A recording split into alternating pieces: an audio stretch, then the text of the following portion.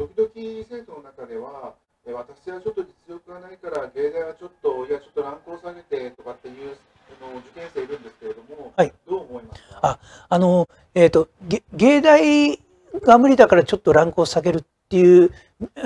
えっ、と、ものの見方はですね、後ろ向きなんですね。だそう後ろ向きじゃなくて、あの、ここがダメだからランクを下げるだったら、でその後どんどん下がってきますよ。だから、その意識は変えた方がいいです。その芸大、芸大を目指して、えっ、と、芸大にはね、今こんだけ、まだこれだけ足りないとか、足りないから、あと、この、この、この部分を、えっ、と、今の時期に補っていけないといけないとかですね。その1年間のタイムテーブルっていうのは、学科にしても、あるいは実技にしても、それそれぞれ、あの、講師が立ち見にはいまして、その講師が分かってますから、1年の中でのタイムテーブルですね。この時期にはこれやんなきゃいけない。で実技の方もありますので、そそういう観点で、これ足りないからランクを落とすじゃなくて、その芸大に向けて、あの、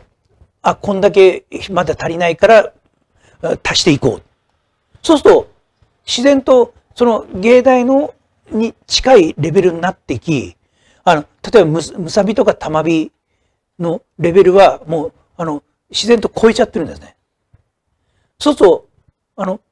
むさびたまびは、あの、普通に受かる状況が生まれてきたりもしますから、その、後ろ向きはやめ、やめた方がいいです。受験生は。その、常に上を見て、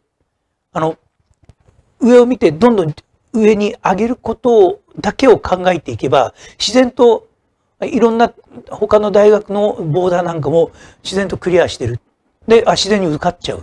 ていうことになりますので、あの、足りないから落とすは絶対やめてですね。あそういう意識はやめて、あの、この分足りないからね、少しでも上に足そうっていう意識に変えてみてください。キャットムービー立ちよろしく。お願いします。お願いします。